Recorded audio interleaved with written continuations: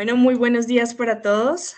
Eh, bienvenidos a este encuentro virtual de la revista Química e Industria en su edición cosmética. Me presento, mi nombre es Ana María Escobar, directora ejecutiva de la Sociedad Colombiana de Ciencias Químicas, y en esta ocasión celebramos muy especialmente un grato homenaje a Jairo Peláez, más conocido como Jarape, químico de profesión de la Universidad Nacional de Colombia, quien durante 28 años trabajó en el Laboratorio de Evidencia de Traza en el Instituto Nacional de Medicina Legal y Ciencias Forenses en Bogotá. Quien inició su labor de caricaturista en el Taller de Humor de la Universidad Nacional de Colombia, sede Bogotá, y ha publicado sus caricaturas en El Espectador, El Tiempo, El Nuevo Siglo, La República, como también en revistas técnicas y de otros países como Canadá, Estados Unidos, India, Turquía y Bolivia.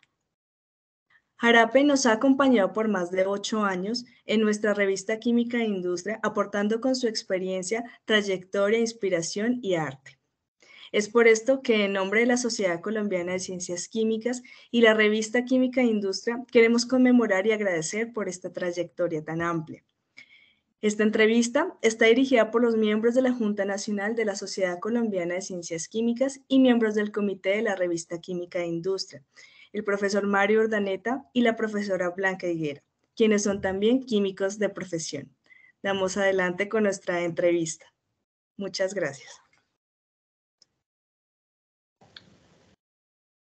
Comenzamos a hacerte pues algunas preguntas de nuestro interés para eh, que las personas que tienen acceso a la revista pues sepan eh, bien quién eres tú. Entonces, eh, la primera pregunta sería, ¿quién es Jarape? Jarape y cómo inició este propósito de mostrar la química desde otra perspectiva, o sea, a través de caricaturas. Bueno, muchas, primero que todo, muchas gracias por, pues, por la invitación, por el homenaje. Gracias a Ana María, Mario, Blanca y pues a todos ustedes. Y bueno, ¿cómo empecé yo en esto? Fue desde, desde inicios de la carrera. Eh, yo siempre hacía mis monitos, eh, en los parciales incluso cometía algunas caricaturas en, los informes de laboratorio y estando en la Universidad Nacional descubrí un colectivo de, caricaturistas que obviamente eh, estaban más vinculados a la Facultad de Artes y a diseño gráfico y resulté ahí con ellos y pues ahí empecé a meterme en los medios. Así fue como empezó todo. Muy, muy interesante, datos muy, bonitos para los químicos, eso de, de, incluir caricaturas en los parciales y todo. No me imagino cómo fue la reacción de, de los profesores, pero me parece una anécdota muy, muy interesante tuya. Y bueno, ya hablamos que, que, lo hiciste desde inicios de la carrera, pero ¿de, qué año estamos hablando? Para que la gente que lea la revista eh, más o menos tenga, tenga como esa información de desde cuándo comenzaste esa ruta y eh, complemento la pregunta con lo siguiente. Sé, no soy experta, pero sé que hay varios tipos de, de caricaturas. Eh, ¿en, qué tipo catalogarías tu trabajo, Jairo? Bueno, yo hago varios tipos de caricatura. Eh, hay una que es como muy general, que es atemporal, son caricaturas que se pueden entender en en cualquier contexto y en cualquier época. Eh, de esas eh, eh, hago bastantes, pero estas caricaturas generalmente las coloco en mis redes o han aparecido en algunas publicaciones que no tienen nada que ver con ni con periodismo ni con química. Y el otro tipo es, es caricatura periodística que es la que, la que publico generalmente en El Espectador, he publicado en El Tiempo y en La República, eh, y en El Nuevo Siglo también. Esos son como los tipos de caricaturas que, que, a los que yo me dedico a hacer. y obviamente pues las de química, ¿no? Que son las que, les colaboro a, la sociedad. Muy bien. Mm, ¿Cuál fue en realidad tu primera caricatura y, en dónde la publicaste? Pues nosotros vemos que tú en la colaboración que haces a la revista, eh, pues eh, básicamente eh, tratas de de que sea muy cromatográfica. Eh, tal vez porque tú trabajas en, ese, eh, en, trabajaste en el, en, medicina legal, en cromatografía, y eres especialista en cromatografía, pero también en medio ambiente. tienes bastante énfasis en esas dos tipo de caricatura? Bueno, respecto a la primer caricatura, eh, desde el colegio yo siempre, o sea, lo de todos los caricaturistas que empezamos a dibujar a los profesores, a los compañeros, pero en realidad yo siento que empecé en esto con mi hermano mayor. Una vez él eh, me dijo, Jairo, ¿por qué no hacemos algo de caricaturas? y usted hace los dibujos y, yo le ayudo con las ideas y nos sentamos y eh, a, mí se me ocurrió la primera caricatura. Era, esa caricatura me acuerdo mucho que era eh, un personaje que estaba mirando su sombra, su propia sombra, y le dice a la sombra, eh, me gustaría ser como tú, que no sientes dolor, y la sombra le responde, no estés tan seguro, estás parado sobre mis pies. Y esa fue mi primer caricatura. Y yo la vi, el dibujo horrible, eh, pero la idea me pareció que estaba bien. Y así seguí. Empecé, se me fueron ocurriendo más y más y más ideas. Y así quedó en unas libreticas que yo cargaba siempre. Eh, esa con esa libretica llegué yo a la Universidad Nacional, a la carrera. Eh, un día cualquiera, en uno de los muros de ahí de la facultad, vi un letrero eh, que estaban pidiendo dibujantes para una revista que se iba a lanzar en, aquí en Colombia, que era la revista de Montecristo. Esa revista eh, la estaba dirigiendo Jairo A, que es un caricaturista coincidencialmente paisano mío. Estaba Bernardo Rincón, que es, un, es profesor de, ahora en este momento profesor de diseño gráfico en la Universidad Nacional. Y yo agarré mis libreticas y me fui a la dirección donde estaban, que era la casa de Bernardo, y llevé mis, mis dibujos, me hicieron una prueba Obviamente yo no pasé para la prueba para hacer este proyecto de, la revista, o sea, mis dibujos eran muy, muy primarios todavía, muy básicos, pero tenía algunas buenas ideas y ellos me invitaron a participar en, una exposición de humor que se llamaba Primer Encuentro de Humor eh, gráfico, eh, Humor Negro, eh, yo participé en ese, en, ese evento con ellos y después me invitaron al tiempo a hacer ilustraciones. Allá conocí a Juanita Santos, ella le gustaron algunas de mis ideas y empecé a dibujar y empecé a aprender con la gente de ese momento. Entonces la primera caricatura, eh, las primeras caricaturas se publicaron en el tiempo y un poquito antes del tiempo en, la República, una pequeña tirita que yo llamaba Lo Conviano, y ahí se publicaron, así empecé. Y lo de cromatografía, eh, ese fue producto de una charla eh, a la que invitó Merck sobre cromatografía. Aquí recién eh, se había puesto en funcionamiento el cubo yo fui a esta, a esta charla que era con un señor alemán que se me escapa el nombre en este momento, a medida que él iba hablando sobre cromatografía, a mí se me fueron ocurriendo ideas de chistes con cromatografía y los fui plasmando, los fui plasmando y de ahí salió una serie que llegaron a ser un poquito más de 100 caricaturas sobre cromatografía. Y pues eh, por ahí fue que fue lo de cromatografía. Y también muy ligado a la parte ambiental. Muchas caricaturas eh, de, de, la parte ambiental que es muy interesante. Sí. Pues porque en el mundo que estamos eh, de contaminación son, son muy interesantes esas, tus caricaturas.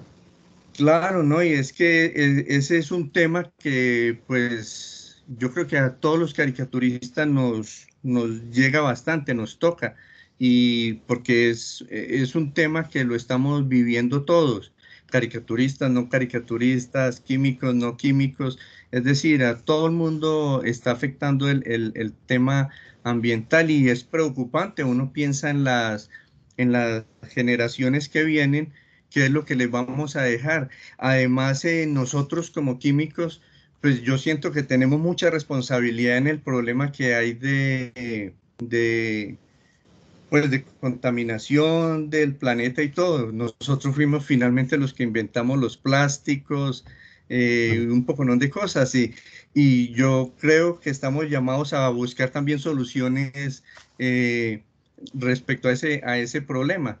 Desafortunadamente, pues eh, yo no, no hice toda mi carrera en, como profesional en, en, en, un medio en el que se pudiera trabajar en, eh, como por hacer algo por el medio ambiente. Es un cuento muy distinto, pero pues una forma eh, de, de, contribuir a eso, por lo menos hacer conciencia, es a través de la caricatura, pienso yo.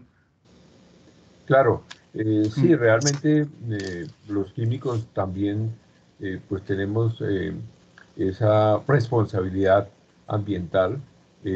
yo de hecho desde 1985 hice la maestría en ingeniería ambiental y también fundé la cátedra de química ambiental en la universidad que dicté varias veces y, propuse una maestría en química ambiental que, que finalmente fue aprobada y todo, pero nos pensionamos y no alcanzamos a seguir con ella. Y yo trabajé muchos años en, química ambiental en la industria, por, por, esa responsabilidad que tenemos los químicos.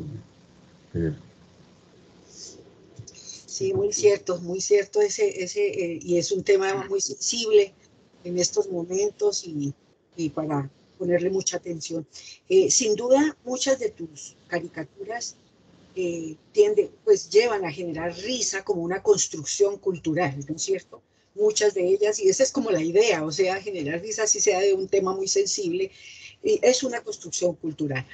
Siempre me ha inquietado y creo que a muchos de tus lectores nos inquieta saber cómo es que se lleva a cabo ese proceso de inspiración tuyo para temas que son como tan técnicos, como son las caricaturas que haces en química, ¿no es cierto? Y cómo enfocas tan acertadamente eh, la compresión de esos temas. Eh, ¿Cuál es esa fuente de inspiración o, cómo te llegan esas, esas ideas para plasmar temas tan, tan serios y tan duros como son la química en una caricatura? Uy, esa es una pregunta bastante difícil de, de responder porque no sé, las ideas llegan, uno no sabe de dónde. Yo tengo un amigo, un excelente caricaturista que se llama Luis Eduardo León y a él yo le escuché hace muchos años una, una frase que me gustó mucho y que yo creo que responde un poquito a la pregunta suya. Él decía que las ideas andan dándole la vuelta al planeta le dan la vuelta eternamente y que de pronto uno levanta la cabeza y se le clavan en la cabeza, ¿sí? Entonces, pues eso eh, parece como muy sencillo, muy básico lo que él dice, pero yo creo que tiene mucho que ver. ¿De dónde nacen las ideas? O sea, no, yo, la verdad, yo no sé. Simplemente las ideas aparecen o muchas veces uno por ejemplo, cuando para ilustrar un, artículo de, la revista, eh, yo empiezo a leer el artículo eh, y a medida que voy leyendo, de pronto aparece la idea. Uno no sabe de dónde, pero la idea es poder atraparla y, plasmarla en el papel. Pero sí, el, por, el mecanismo ese es muy difícil. Hay gente, hay gente como Carlos Alberto Villegas aquí en Colombia, eh, la misma maestra Beatriz González, eh, Germán Fernández, que es un caricaturista que salió también de la Universidad Nacional, pero de la Facultad de, Ingeniería Mecánica. Ellos se, dedican mucho a estudiar el tema en sí del humor, de dónde sale, de dónde surge. Y yo los admiro mucho porque la verdad yo no podría llegar a las conclusiones que ellos llegan. Sí, la, la, verdad es que, que, nosotros los químicos pues nos divertimos mucho con tus caricaturas y, y pues eh, eso tiene un, un, sello muy particular. Eh, pues no solo las, nos divertimos, sino las admiramos, pues de, de donde saca las ideas. Entonces, digamos, ¿Cuál es tu sello, tu marca personal para las caricaturas? Eh, ¿Tienes algo especial en la mente que diga, bueno, voy a dirigirme hacia este tipo de, caricaturas? No, no realmente. No, no algo así como específico, no. Eh, muchas de las eh, ideas que me llegan a mí es viendo, yo consulto mucho material de caricatura. Muchas veces una caricatura inspira otra caricatura. Eh, leyendo artículos, mirando la televisión, mirando la gente, o sea, las ideas están por todos lados. El asunto es como tratar de atrapar esas ideas y plasmarlas en, en, una, en una caricatura. Pero así como que, que yo tenga un, como una marca específica, no, yo no creo que la tenga. Okay. Y, Jairo, eh, eh, ¿qué, ¿cuál consideras ha sido eh, tu reto el desafío más grande que has tenido en tu trayectoria? Yo creo el reto más grande es sostenerme en el espectador, porque, eh, es decir, para mí es, o sea, no es fácil, no es fácil estar en, en un medio tan importante como es el espectador y compitiendo de alguna manera con, con, gente que tiene mucho más talento que yo. O sea, hay gente que es, eh, son unos genios de la caricatura y entonces el reto es, es estar eh, tratando de, plasmar la realidad nacional en, en, un medio como, como es el, el, espectador. Cuando estuve en el tiempo era un poquito más, más fácil porque no se trataba de, de, de retratar la realidad nacional, sino de ilustrar artículos. Entonces, más que, que caricatura, era eh, ilustración. Entonces yo siento que era un poquito más fácil cuando estaba en el tiempo que, ahora que estoy en el espectador. Pero, mm, bueno, en el espectador tú muestras caricaturas de, la realidad eh, cotidiana del país, eh, del mundo, pero ¿Qué opinas, eh, por ejemplo, de la caricatura política? Porque muchas de tus caricaturas pues tienen énfasis, eh, pues obviamente, en, la política.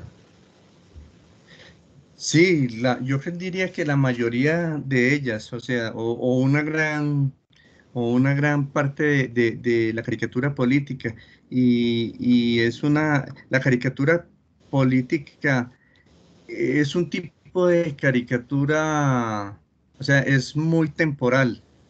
Eh, en ese sentido, eh, después de un tiempo no es tan gratificante porque, por ejemplo, yo veo caricaturas mías de hace 10, 15 años y ya, ya no recuerdo a veces el contexto de algunas de ellas.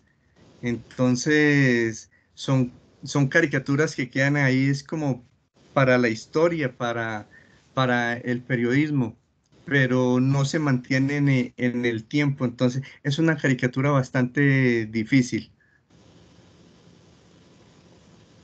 Indudablemente, Jairo. Eh, ya eh, centrándonos en, tu trabajo en la, en la revista eh, Química e Industria, en la cual hemos tenido tu aporte generoso, valiosísimo, y sea el momento para reconocértelo una vez más, razón por la cual decidimos hacer este, este homenaje, porque nos parecía más, más que merecido. Eh, has estado varios años ahí colaborándonos, ayudándonos, ¿Qué ha significado para ti este aporte? Ser eh, la parte bonita de la revista, la parte de la inspiración, la parte jocosa, la parte amable. Eh, ¿Qué sientes ahorita eh, al cabo de esta trayectoria que seguirá obviamente por mucho tiempo más el haber hecho este trabajo ahí en la revista?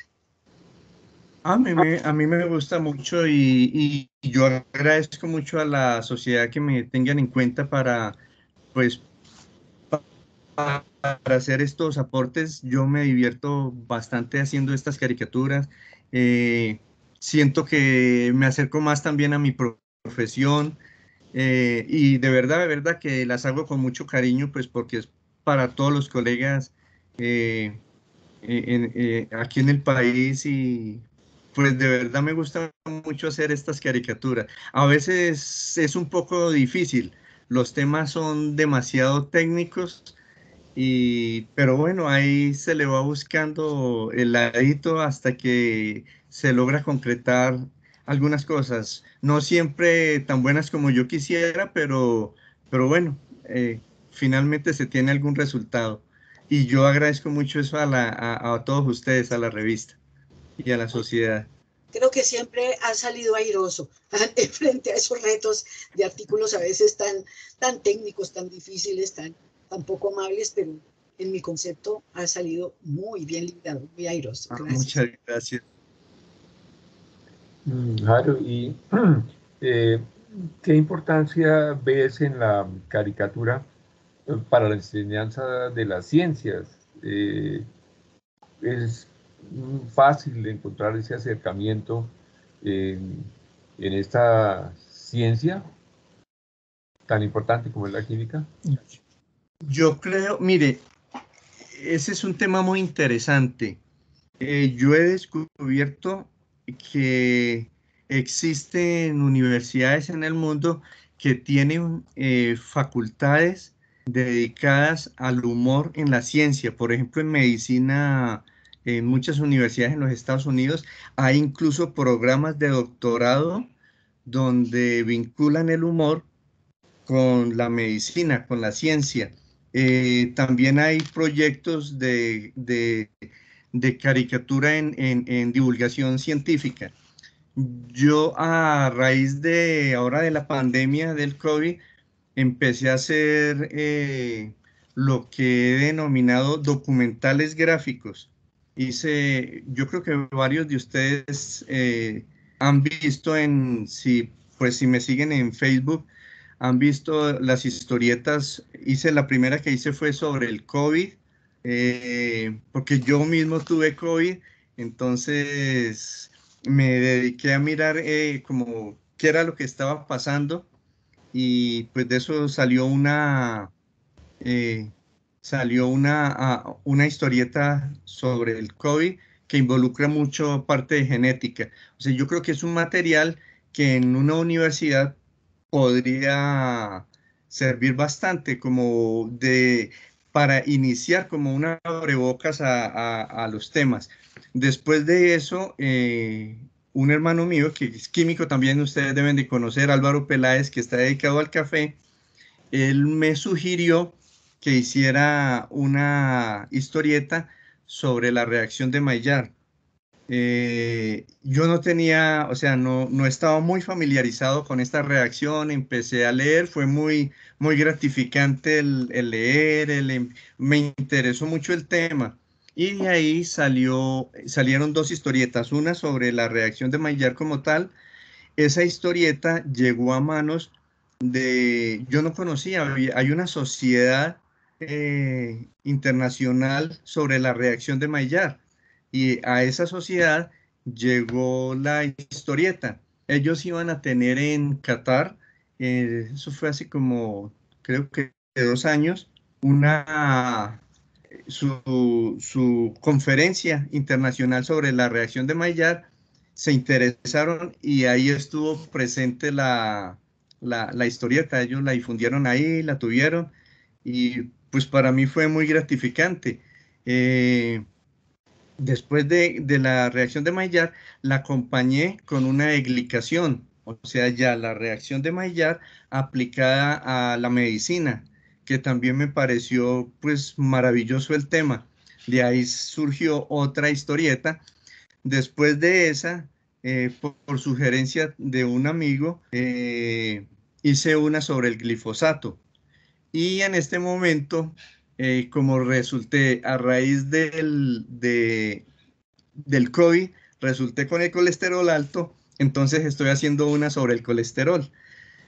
Es, un material que está ahí, pero desafortunadamente pues no, no, no ha llegado como a una universidad, alguien que se haya interesado por, por publicarla o algo.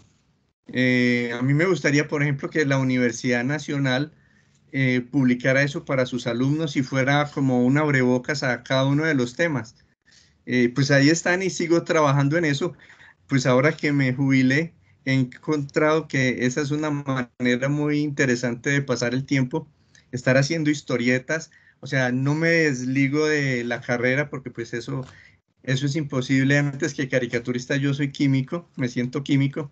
Entonces, es una manera de, estar haciendo material y que espero que algún día le pueda servir a alguien.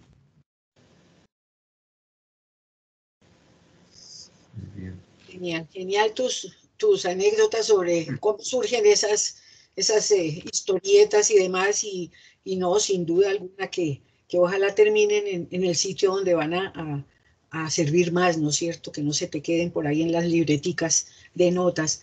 Dios quiera, ojalá en la revista tengamos algún, en algún momento la oportunidad de, pensar en una publicación de algo así, porque es bien interesante en mi concepto. Eh, ah, pues, si la sociedad quisiera, eh, no sé, editar eso y pues el material está está a disposición porque pues yo pienso que es mejor a que, que lo utilice la gente a que esté por ahí guardado en un computador, en un archivo que nadie lo va a leer. Oh, sin duda, sin duda, Jairo. Bueno, ya estaremos mirando esa, esa opción. A mí me parece bien interesante y pues para eso es nuestra revista, ¿no es cierto? Es un órgano de divulgación que que pues en este momento, gracias a Dios, está llegando a, un amplio sector, entonces creo que es un, un, buen, un buen, escenario para publicar tus, tus trabajos. Eh, no sé, en, en, los caricaturistas, sin duda alguna, como en todo el mundo, tiene que haber una, una cierta dosis de responsabilidad, ¿no es cierto?, con lo que se hace, con lo que se publica, una caricatura puede generar en, las personas muchas reacciones y en una masa humana, pues sin duda, muchas reacciones, ¿no es cierto? Eso, eso es un hecho. Eh, ¿Qué opinión te merece a ti eh, la caricatura como crítica social? Eh, ¿Es un buen camino? ¿Hay que tener mucho cuidado? ¿Qué opinas de eso? Usar la caricatura como crítica social. No escuché la última parte, se congeló. Ah, sí, está congeladito. Eh, a ver, tú también estás congelado. se congeló todo. Sí. ¿Tú me estás oyendo? ¿Me estás oyendo, Jairo? Aló. Listo, listo. Ya parece que volviste. disculpe que se, Volviste. no, eh, sí, te decía que, en ese orden de ideas de la responsabilidad que, que, sin duda es inherente a un caricaturista, ¿no es cierto?, frente a, sus eh, caricaturas políticas y demás. ¿Qué opinión te merece la caricatura como crítica social? ¿Es, es un buen camino, es una buena vía para expresar esos, sin sabores de la sociedad y demás, o hay que tomarla con mucho cuidado. ¿Qué opinas tú de eso? Yo, o sea, la caricatura de críticas sociales me parece súper importante, o sea, es muy importante. esa caricatura en determinados momentos ha llegado hasta tumbar gobiernos en muchas partes del mundo. Eh, eh, yo la veo es como, y así la han definido muchos autores, eh, es como la forma del que no puede hacer de, de, de, protestar, o sea, es como una forma de protesta, pero en esa también hay una gran responsabilidad porque uno generalmente uno tiene la información que está en los medios, uno no tiene la información de las personas individuales y uno puede cometer excesos. Eh, uno puede, muchas veces uno puede ser injusto, eh, pero esa caricatura hay que, definitivamente hay, hay que hacerla. Eh, es, es muy necesaria para la sociedad. Es como un alivio, como cuando uno se, se, se, quita cosas de encima. entonces, es, es muy importante, pero es de mucha responsabilidad también. Yo sé que es de mucha responsabilidad, porque uno puede en determinados momentos puede llegar a ser injusto. Muy de acuerdo contigo, Jairo. concuerdo totalmente con tu opinión. Y pasando un poquito a otro tema, eh, pues hemos visto por ahí tu, tu playlist de música que es muy amplio, pero, se nota que, digamos, por lo, que te gusta, eh, pues tipo Mercedes Sosa, Roberto Carlos, Francisco Cabral, Rafael, eh, se nota desde ahí tu sensibilidad de artista. Eh, ¿qué, otro, ¿Qué tipo de música siempre te, ha gustado? Muy, muy variada, pero, pero como, como con énfasis en ese tipo de, de, música, pues también mucha de música protesta y, de mucho contenido. Bueno, nosotros venimos como de una generación de los 80, la universidad era, yo no sé cómo será en este momento, pero en la, en, en la década de los 80 que nosotros estuvimos allí, era mucho música andina, mucha música de protesta, o sea, social, eh, o sea, en ese fue, en ese ambiente fue que, que, crecimos nosotros, entonces obviamente a mí me gusta mucho Silvio Rodríguez, eh, Facundo Cabral, eh, Mercedes Sosa, pues los Aymarás, toda esta gente. Pero pues yo vengo de la región cafetera, entonces a mí me llega mucho lo que es el tango, eh, las milongas, me gusta mucho la música colombiana, el, pues el, pasillo, el bambuco, la cumbia, eh, pero a medida pues que uno eh, va pasando el tiempo, uno va descubriendo muchas músicas, muchas músicas de, de otras partes del mundo. Hay unos proyectos en internet muy interesantes, hay uno que se llama de, de Postmodern Jukebox, eh, que es un, muchacho en Estados Unidos que él va a la casa de sus abuelos y encuentra un poconón de LPs con música que él ve que es maravillosa, pero que ya nadie escucha. Entonces él se dedica a, a revivir esa música, pero con gente joven y es una maravilla ver esto porque es música de los años 20, de los años 30, 40, eh, interpretada por, por, músicos y por gente muy joven, y, pero ellos eh, conservan el ritmo y todo lo anterior. Además, en las escenografías que ellos, en los montajes que hacen ellos, eh, le meten muchas cosas de humor que son muy sutiles, o sea, un humor muy inteligente. Entonces, proyectos como ese me gustan descubrí también otro proyecto eh, que se llama Duetos Imposibles. Entonces, ese también me parece una maravilla porque ponen a, por ejemplo, a alguien que es de ópera a cantar junto con alguien que es de rock pesado o de metálica. Entonces, esos proyectos me parecen increíbles.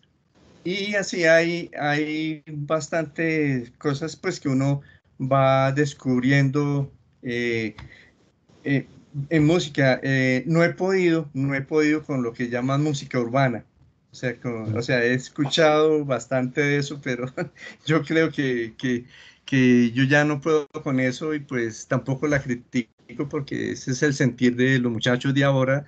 Es, yo pues no, no, no estoy en, eh, resonando como a la misma frecuencia de ellos, pero con esa, ese tipo de música sí no, no he podido eh, nunca, pero en general a mí me gusta mucho, me gusta mucho la música y escucho mucha música mientras dibujo. Ayuda a la inspiración también. Sí, sí, de verdad que sí. Y eh, eh, algunas veces, hace tiempo que no lo hago, pero algunas veces ilustré eh, canciones, las letras de las canciones. Entonces, y eso debe estar por ahí en alguna libreta, eso jamás lo publiqué en ningún lado. pero agarraba las letras y hacía como las ilustraciones. Genial, justo te iba a preguntar eso cuando estamos hablando de música. Dije, bueno, ¿alguna vez habrá hecho una caricatura de alguna de esas canciones? Bueno, pues también interesante conocer ese trabajo, Jairo, muy chévere. Pues no sé, ya, ya, ya hemos hablado de varias cosas, te hemos hecho las preguntas como que le surgen a uno cuando uno habla de un químico que es caricaturista y que lo hace muy bien, sobre todo. Entonces, sí, hay, hay, hay, cosas que creo que para los lectores de nuestra revista va a ser interesante y para los que vean pues este video. Eh, quisiera eh, hacer como, como una última intervención o hacerte una última pregunta que, que de pronto es un poco más general, no, no, no, no atañe totalmente a, tu trabajo de caricaturista, sino más bien el químico, ¿no es cierto? El químico, el profesional químico, y es eh, ¿cuál podría ser un mensaje que tú le mandaras en este momento a la comunidad química, a los estudiantes, a los profesores, a, los químicos en general, para que sigamos adelante? Eh, porque hoy en día está difícil, ¿no es cierto? Estas ciencias están difíciles que a los chicos les guste, está muy difícil. Eh, ¿Cuál sería ese mensaje para seguir adelante en este camino del conocimiento, en este camino de la innovación y en una carrera como, como lo es la, la química? Pues yo, yo diría, eh, es algo que yo siempre pensaba, incluso lo pensaba desde que estaba en la universidad. Yo no sé los químicos de ahora, los, los, las muchachas y muchachos que se están formando ahora, cómo serán, pero nosotros estábamos muy embebidos en, en la química, en las resonancias, en los electrones pi, en todas estas cosas, ¿sí? Y, nos apartábamos mucho de, la realidad nacional, de la realidad del mundo. Eh, pues ustedes saben que mi esposa también es química, es Ángela, y nosotros a veces escuchamos en este momento, vemos por ejemplo viendo televisión, eh, noticias de los años 80, cuando nosotros éramos estudiantes y nosotros nos preguntamos, ¿eso pasó y nosotros no nos dimos cuenta? O sea, nosotros dónde estamos, claro que en ese momento pues no había internet, no había los medios de ahora, pero yo diría eh, que el profesional químico ahora debe estar, o sea, no solo centrado en, la ciencia química como tal, sino en, en, el mundo que le rodea.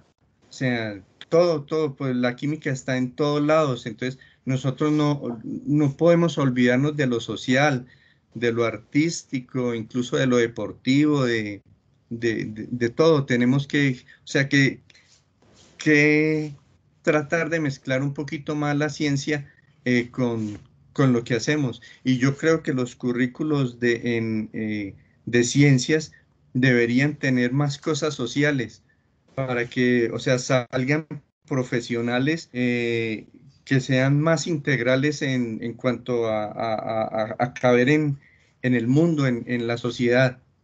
Pues eso es lo que yo pienso. Mm. Ok, muchas gracias. Sí, y un componente humanístico de pronto más fuerte, ¿no es cierto? Es, sí, yo creo que sí.